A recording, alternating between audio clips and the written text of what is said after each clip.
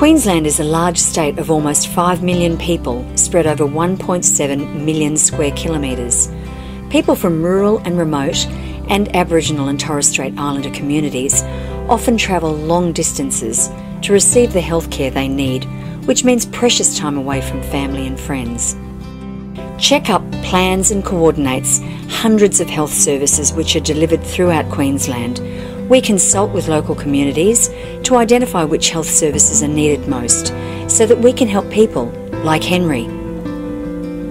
We arranged to fly Henry and his wife Gladys to Mount Isa from their home in Normanton so Henry could have much needed eye surgery.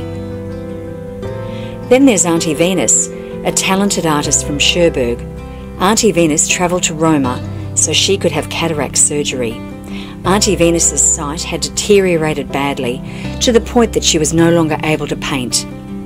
We visited Auntie Venus three months after her surgery and she was delighted she could paint again.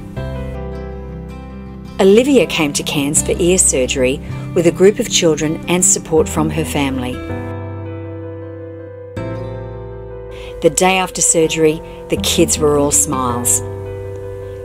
Checkup's health services are delivered by a dedicated group of health professionals who are committed to reducing health inequities. They make priceless moments happen, like Uncle Harold seeing clearly for the first time in many years.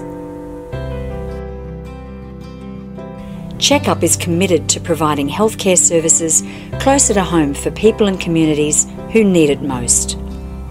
For more information, visit checkup.org.au.